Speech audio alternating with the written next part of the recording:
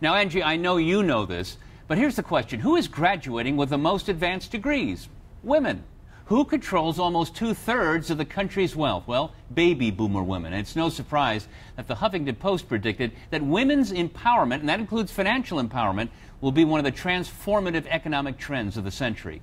But the financial services industry has not yet changed how it talks to or deals with women and their finances. Let's talk with Raul Jacobs. He's a financial advisor, and you specialize in this area.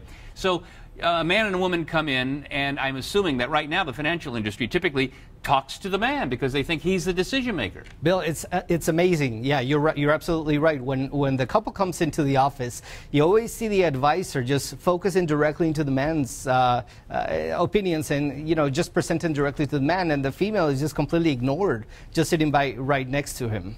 Now, the fact is, as you told me, that more women now are becoming ever larger pieces of the investing pie. They're opening up their own accounts. Yes, absolutely. I mean, we're, we're seeing now 66% of the wealth in the United States is actually being held by women. And uh, advisors don't really recognize that it's actually women that are controlling all these assets, which end up being almost like $19 trillion of the economy. So the industry has to make some adjustments here.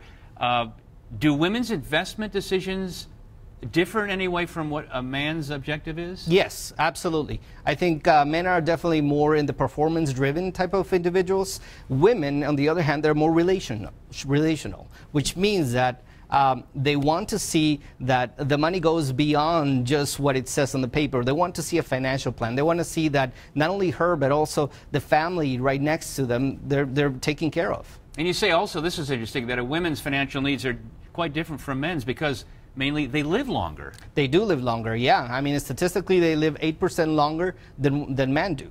And uh, that means that we have to prepare completely for a dif different financial plan when it comes to women because they live longer. Raul Jacobs, thank you so much. Thank you very much.